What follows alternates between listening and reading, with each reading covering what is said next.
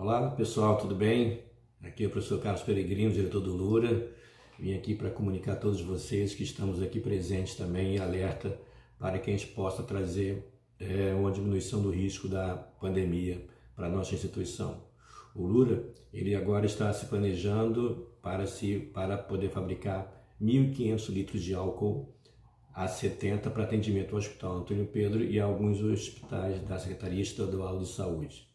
Esse nosso plano tem a ver muito com a nossa atividade, com a atividade muito grande de extensão e temos certeza também que estamos colaborando, como toda a universidade, para poder diminuir os riscos inerentes a, essa, a esse vírus que está presente entre todos.